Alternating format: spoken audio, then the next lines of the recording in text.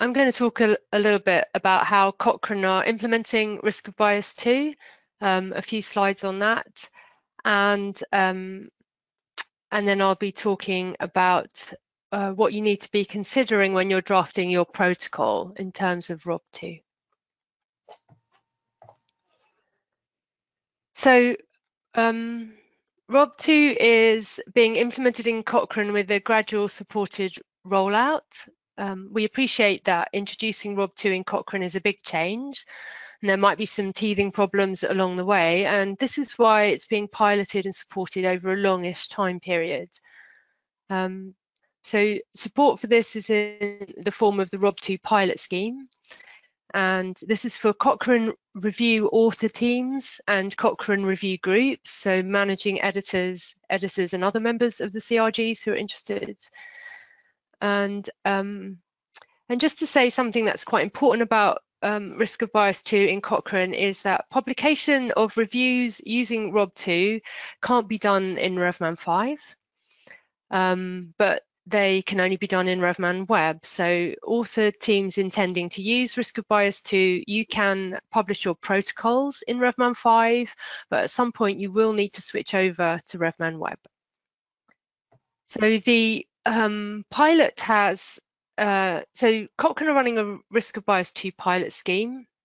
And it's the best place uh, for you to get support in either um, learning how to edit um, protocols and reviews using risk of bias 2 or um, learning how to um, prepare your systematic reviews using risk of bias 2 for Cochrane.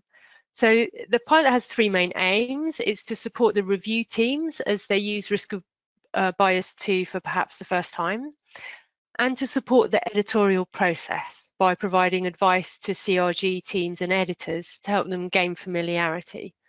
And the third aim of the um, uh, pilot is for us to gather feedback um, in the methods unit to uh, inform the rollout of ROB2. So that's in developing support materials for CRGs and authors and to inform how ROB2 is presented and published in the in the Cochrane library and um, how it's uh, implemented in RevMan web as well.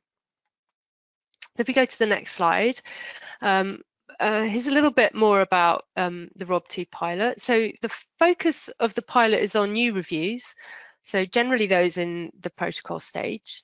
And we recommend that teams come forward when putting together their protocol, but it's okay if the team is further down the process. Um, they can still join, you can still join the pilot. Typically, the process is a, a CRG will approach the pilot via their network associate editor. And when they receive their first, when they receive their first protocol or review using ROB2, and then the method support unit will provide comments and feedback to the CRG and author team on the risk of bias 2 methods in that protocol. So once that part is over, um, a kickoff call will be initiated. So these are usually an hour long and it's for the CRG team and the author team to talk to um, the method support unit, the implementation team and the RevMan web team. So it's um, an opportunity to ask questions about the process of using ROB2 in Cochrane and to get practical help and um, information about how to do that and also to ask about actually using the ROB2 tool uh, within your review as well. So there's methodological support too. And there's um, because the RevMan developers come to that to that meeting, it's also um, important in terms of learning how to use RevMan web as well. Following this, um, there are monthly web clinics that the teams, uh, the CRG and the author teams can come to, again, to ask questions or um, share advice with other teams and get support. And so although ideally teams come forward at the protocol stage, the risk of bias 2 pilot is open to all reviews, whatever stage they're at.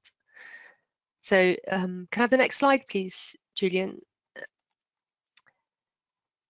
So the second part of the ROB2 pilot that's important is that we're supporting um, CRG and editorial teams to um, to provide comments, uh, editorial comments themselves on um, protocols and reviews using risk of bias 2. So for subsequent protocols, editorial teams can draft their own comments and methods and feedback to the author teams and the method support unit will help them dra to draft those in the first instance. And the aim is that quite quickly CRGs will have the knowledge to assess risk of bias 2 protocols themselves um, as time goes on and um, but they'll always have the option of asking for support if they need it. Um, but the idea is to get the CRGs happy with um, using, um, looking at protocols and reviews that are using risk of bias 2.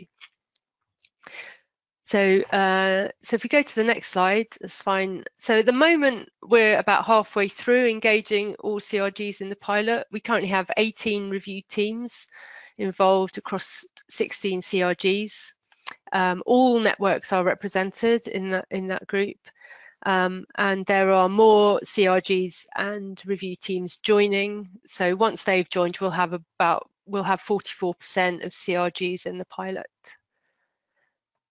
Um, next slide. Um, so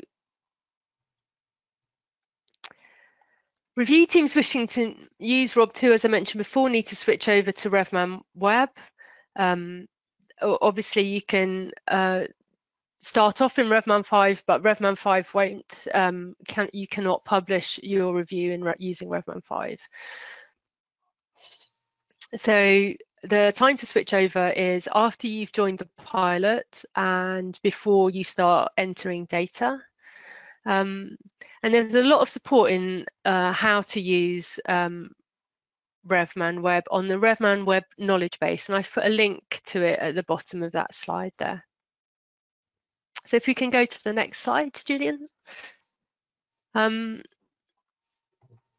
here is an example of a forest plot that was created in RevMan Web. And um, as you can see, it looks very similar to forest plots we see in RevMan 5. The differences are that the risk of bias legend, as you can see there um, in the bottom left, if you click, Julian, a little ring should appear. Brilliant. So um, that's the legend, and that includes the risk of bias two domains. And if you click again, over there on the right hand side you can see the the judgments but the, these judgments are results based they are not study based so they're individual for each um, forest plot that you're putting up um, so there's a webinar specifically on RevMan Web and Risk of Bias 2 in this series. So how do you join the Risk of Bias 2 pilot? Um, if you're an author team, um, we'd ask you to contact your CRG. And if you are one of the editorial teams, then you can either contact your network associate editor or you can come directly to the method support unit. I've put a link there to the method support unit website. Um, so that was set up in 2019 and it's part of Cochrane. And it's available for all CRGs to answer questions about um, uh, methods in um, Cochrane systematic reviews. So now I'm going to talk about the aspects of risk of bias 2 you need to include in your protocol. Um, all of these slides, by the way, will be available afterwards. So if I go through them quickly, um, you'll be able to look at them after the talk's finished. So here's a list of the 18 headings covering methods in a Cochrane protocol. Um, next slide. And um, for ROB2 methods, we need to think about several sections of the protocol, not just the section that's headed up assessment of risk of bias. So some sections we think about because they will have implications for using ROB2, and in other sections of the methods, um, we need to think about those because ROB2 uh, is included in them, and this is uh, hasn't been the case um, often for other uh, iterations of the tool. Next slide. So the first um, part of the protocol where we have to be thinking about ROB2 is when you spec specify your study type. It's important to consider if you'll be including crossover RCTs or cluster RCTs. As we saw in the talk earlier, there are specific variations of the risk of bias tool that need to be used for these designs. So we are um, trying to be clear about encouraging authors to consider their study designs and the appropriate ROB2 variants they will need. Um, for the protocol section on assessment of risk of bias, there are eight methods items to report, and these are relevant to the specific set of studies you are planning to assess. I'm not going to talk through all of these, but the key ones are for point two, um, you need to state which results you will assess.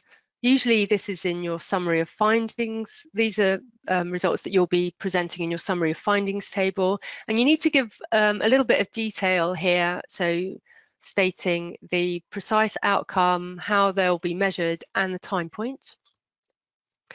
For point three, you need to state in your protocol the effective interest you're interested in, whether it's um, effect of assignment or the effect of adherence.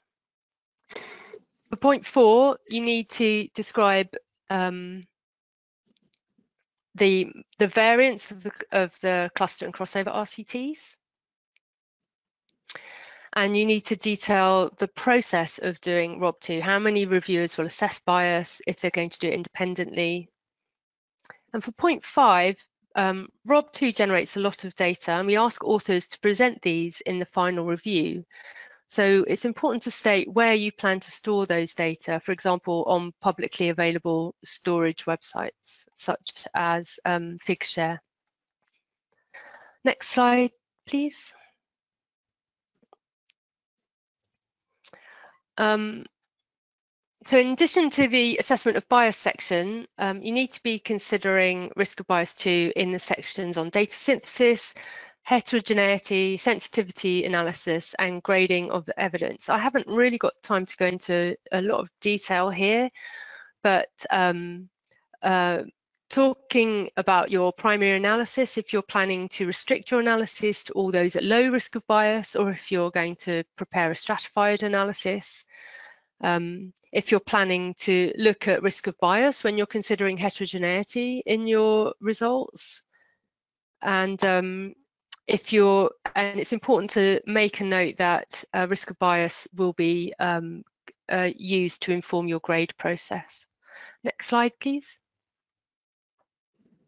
Finally, I'd like to acknowledge the um, Cochrane Central Executive Methods team and the RevMan web team who have been instrumental in helping to prepare these slides.